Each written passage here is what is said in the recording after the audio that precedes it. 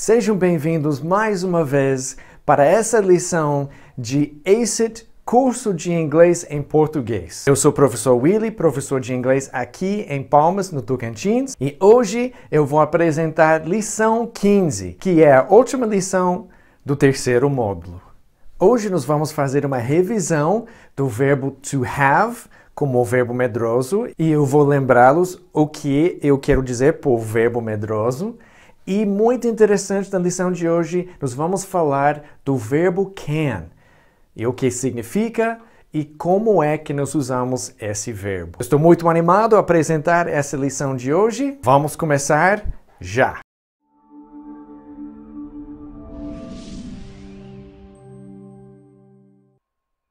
Sejam bem-vindos a ACIT Inglês de Conversação em Português, Lesson 15, lição 15. Parabéns em chegar à última lição do terceiro módulo. Não esqueça que se você gostaria de ver mais videoaulas como essa, ou você gostaria de conversar comigo, fazer as suas perguntas ao vivo no canal aqui, ou você gostaria de ver aulas que eu dou nas igrejas aqui em Palmas, não esqueça de se inscrever no canal e tocar ou clicar no ícone do sino para o YouTube te avisar cada vez que ou nós lançamos um novo vídeo ou começamos um live. Nesse momento você já deveria ter ouvido o áudio relacionado a essa lição e se não já ouviu, pode agora clicar lá em cima na direita, ir para o vídeo daquele áudio, escutar três vezes, praticar e voltar e ver essa lição. Os tópicos de hoje, topics. Hoje nós vamos fazer uma revisão de have como verbo medroso e o que eu quero dizer com o verbo medroso. Vamos falar do significado de to have to, o que significa to have to em inglês. Vamos ver como dizer é para você. E nós vamos também falar sobre o verbo poder, um verbo muito importante. O verbo have como verbo medroso nós vimos na lição 14, mas é muito importante, então nós vamos revisar agora. Se você não já viu a lição 14, vou colocar agora lá em cima na direita o link para você também participar da 14 lição. Então, o verbo have como verbo medroso. O normal é I have money. Eu tenho dinheiro. I have money. I don't have money. Eu não tenho dinheiro. I don't have money. E em pergunta, do you have money? Você tem dinheiro? Então, isso é como nós usamos normalmente o verbo have. Ter, possuir. Como nós já vimos em lições anteriores, nós temos o que eu chamo de verbos medrosos. Quais são os verbos medrosos e por quê? Porque nós temos alguns verbos que não podem, 95% do tempo, não podem ficar só. Precisam de um comprimento, alguma coisa para acompanhar. Geralmente isso acontece quando nós temos, por exemplo, o verbo want. Você quer comer? Do you want to eat? E a resposta, yes, I do. Sim, eu quero. Se nós falarmos só sim, eu quero, podemos usar ou a resposta curta, yes, I do, ou a resposta, yes, I want to. Mas não podemos deixar o verbo want só por dizer yes, I want. Isso que não é permissível quando falamos de verbos medrosos. Agora é diferente com have. Então aqui nós temos o verbo have como verbo medroso. Se alguém perguntar, do you have money? Você tem dinheiro? No, I don't have to. Se nós colocarmos to, como nós geralmente fazemos com want e os outros verbos medrosos, dá um problema. E dá problema porque em inglês, to have to significa ter que. Então, ao invés de dizer não, eu não tenho, você literalmente está falando não, eu não tenho que. E isso não faz sentido, porque ter que, obviamente, é uma ação. Você não tem que fazer algo. Então, não dá para ser isso. Então, sabemos que have é verbo medroso, mas não podemos usar to como nós usamos com want, com would, com like e os outros verbos medrosos. Então, o que nós vamos fazer? Então, aqui, o verbo have como verbo medroso. Do you have money? Yes, I have some. Então, literalmente, nós precisamos dizer sim, eu tenho algum. Se lembra que nós usamos some, é, literalmente algum, alguns, também pode ser usado para um pouco. E quando nós temos a negativa, nós falamos no, I don't have any. Não, eu não tenho nenhum. Então, nós podemos colocar yes, I have some money, ou yes, I have some. No, I don't have any money, ou no, I don't have any. Então, vamos revisar. Number one. Eu gostaria de um suco, por favor.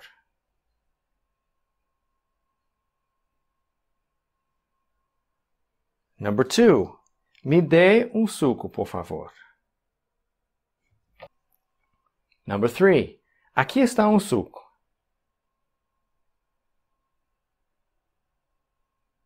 Four. Isso não é muito.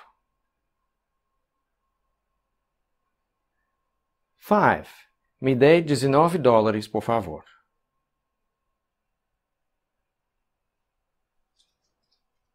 E as respostas? One. Eu gostaria de um suco, por favor. I'd like a juice, please. Ou I'd like some juice, please. Ou I'd like juice, please. Os três dá mais ou menos o mesmo sentido. Two. Me dê um suco, por favor. Give me a juice, please. Three. Aqui está um suco. Here's a juice. Four. Isso não é muito. Ou it's ou that's not a lot. Lembrando que that's é um pouquinho mais enfático do que it's. Five. Me dê 19 dólares, por favor. Give me 19 dollars, please. More review. Let's review 6 to 10. 6. Em reais, isso é muito. 7. Então, me dê um dólar, por favor. 8. Eu tenho muito dinheiro americano. 9. Eu não tenho, ou eu não tenho nenhum. 10. Eu vou te dar 18 dólares. Corrigindo. Correcting. 6. Em reais, isso é muito. In reais, It's ou that's a lot. 7. Então, dê-me um dólar, por favor. Then give me a dollar, please. 8. Eu tenho muito dinheiro americano. I have a lot of American money. 9. Eu não tenho nenhum. I don't have any. 10. Eu vou te dar 18 dólares. I'm going to give you 18 dollars. Então, para dizer eu vou te dar um pouco de dinheiro. I'm going to give you some money. I'm going to give you some money. Some money. To give you some money. I'm going to give you some money. Let's practice 11 to 15. 11. Você tem dinheiro americano?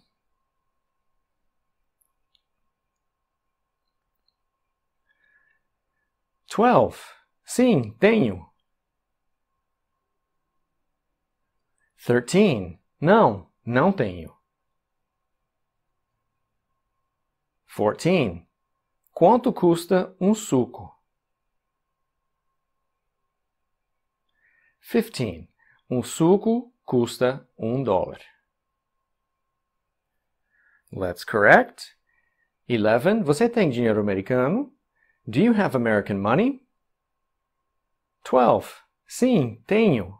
Yes, I have some. Lembrando o que nós revisamos nessa lição, que nós vimos pela primeira vez na lição 14, que é some, que é necessário com have, have sendo o verbo medroso. Então, eu não posso falar yes, I have. Tem que ser yes, I have some. Sim, eu tenho. Ou literalmente, sim, eu tenho algum. 13. Não. Não tenho. No, I don't. ou No, I don't have any. Lembrando que No, I don't pode ser porque é resposta curta e você também pode usar No, I don't have any se referindo ao dinheiro, mas não pode falar No, I don't have. Pode ser Oh, no, I don't, ou No, I don't have any, ou No, I don't have any American money, a resposta completa. Mas a única dessas que não pode ser é No, I don't have. Mais uma vez, porque have é um verbo medroso, precisa andar de mãos dadas com alguma coisa. 14. Quanto custa um suco? How much is a juice? 15. Um suco custa um dólar. A juice is a dollar. Ou juice is a dollar, suco é um dólar. Daí tem aquelas outras coisas. Some juice is a dollar. Five more. Let's practice. 16. Quanto dinheiro você pode me dar? Quanto dinheiro você pode me dar? 17. Eu posso te dar 14 dólares. 18. Aonde você vai? 19. Eu vou ao hotel. 20. Eu vou comprar café.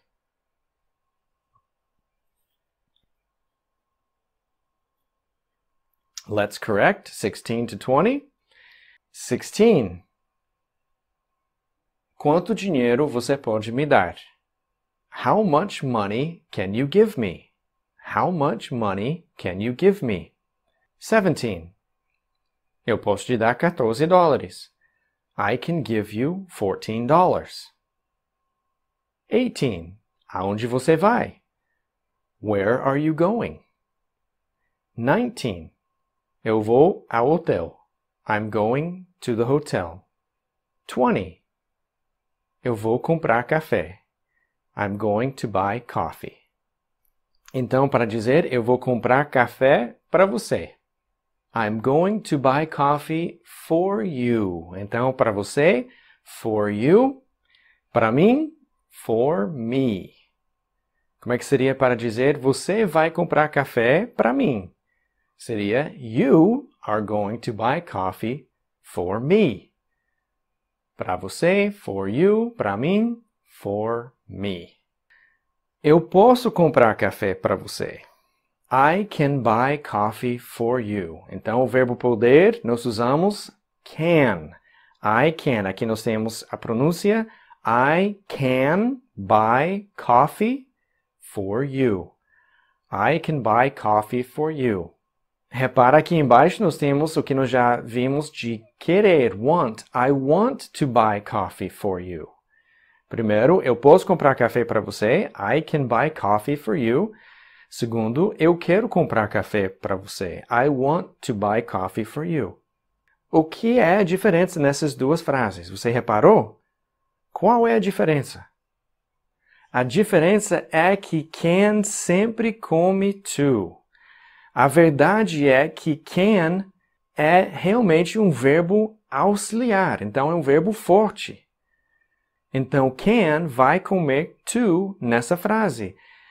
Com want fica I want to buy coffee for you, mas com can fica I can buy coffee for you. Então temos aqui uma das coisas que vão ser marca registrada desse curso, que é o can come to. I can buy coffee for you. Então eu vou lembrá-lo muito e quando você assistir os vídeos que eu faço em sala de aula, você pode ver que eu falo muito disso, porque é, eu desenvolvi esse, esse cara aqui, o can que come to, porque é, é muito fácil esquecer, porque nós temos I would like to, I want to, I need to. Os verbos fracos, eles ficam com to, onde os verbos auxiliares como can não tem to. Então vamos ver as três formas. A negativa. A negativa é cannot. Lembrando quais são as situações onde não usamos uma contração. Porque na maioria das situações nós usamos contração. Não usamos contração quando ou estamos tentando colocar mais ênfase ou quando é uma situação formal. Então, na grande maioria das situações, não vamos usar cannot, mas vamos usar can't. I can't buy coffee for you. You can't buy coffee. Eu não posso comprar café para você. Você não pode comprar café. Na interrogativa, I can buy coffee for you. Eu posso comprar café para você. Mas lembrando que é verbo forte, como estamos lembrando aqui, verbo forte, então não vai ter do, nunca vamos colocar do com can, porque do é verbo auxiliar, can, como eu falei, também é verbo auxiliar. Então o que nós fazemos com verbos fortes, como to be, se lembra? You are Brazilian, afirmação, o que nós fazemos? Invertemos are you Brazilian? porque é verbo forte. Os verbos auxiliares também, verbos fortes. Então, ao invés de colocar do you can buy coffee, nós colocamos can you. E fica Can I buy coffee for you? Can I buy coffee for you? Então vamos revisar mais 5, 21 a 25. Por que, que nós revisamos tanto e praticamos tanto? Porque dentro desse método nós acreditamos em repetição para trabalhar a pronúncia e melhor fixar essas coisas. Então, ao invés de decorar muitas regras gramaticais, nós vamos praticando aprendendo dentro da prática. Então vamos lá. 21. Eu posso te dar 15 dólares. 22. Eu não posso te dar dinheiro. 23. Você pode me dar um pouco de dinheiro? 24. Não, não posso. 25. Eu não quero. Let's correct. 21. Eu posso te dar 15 dólares. I can give you 15 dollars. 22. Eu não posso te dar dinheiro. I can't give you money. Ou, para colocar mais ênfase, até podia colocar I can't give you any money. Não posso te dar nenhum dinheiro. Os dois querem dizer a mesma coisa. 23. Você pode me dar um pouco de dinheiro? Can you give me some money? Ou Can you give me a little money? Eu já ouvi falar uh, por alguns professores que você não deveria usar a little money porque dá sentido de tamanho. Em teoria é certo, mas você vai ouvir pessoas falando a little money ou a little love ou coisas assim. Então usamos sim a little nessas situações que talvez seria melhor usar some. Por isso que tem some aqui mas você vai ouvir isso quando você viajar para os Estados Unidos. 24. Não, não posso. No, I can't. Lembrando, lá atrás nós falamos de como é que nós fazemos uma resposta curta. A resposta curta sempre vai usar o mesmo verbo auxiliar que foi usado na pergunta. Então, quando a pergunta for can, nós vamos responder com yes I can ou no I can't. Não é que sempre é do. Começamos aprendendo do porque é o mais usado. Mas, se a pergunta começar com can, nós temos que usar can na resposta curta. Agora, eu não quero.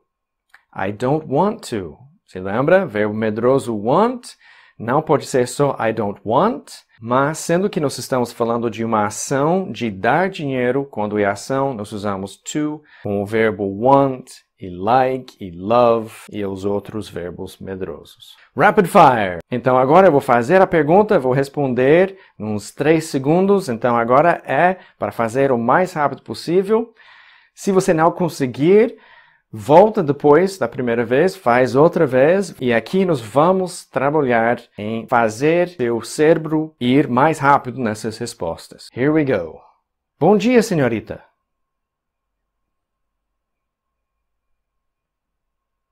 Good morning, miss. 2. Você tem dinheiro americano? Do you have American money? 3. Sim, tenho. Yes, I do. Lembrando que a pergunta foi feita com do, então a resposta é curta, yes, I do. Ou você pode também responder yes, I do have American money, ou yes, I have American money. Four, aqui estão 20 dólares. Here's 20 dollars. Five, é para mim? Is it for me? Six, isso é muito. It's a lot. Ou that's a lot, para ser mais enfático. Seven. Então tá, ou tá bom. Aqui estão 18 dólares.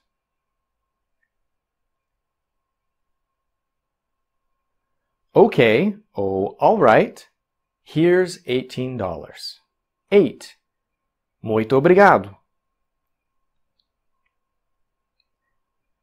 Thank you very much. 9. De nada. You're welcome. 10. Quanto dinheiro você quer? How much money do you want?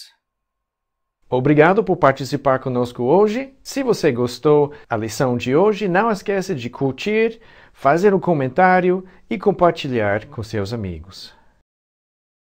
Espero que você tenha gostado da lição de hoje e parabéns por mais uma vez terminar um módulo de nosso curso. Não esqueça de colocar lá embaixo nos comentários quantas questões você acertou tanto na prática quanto das respostas rápidas, ao Rapid Fire.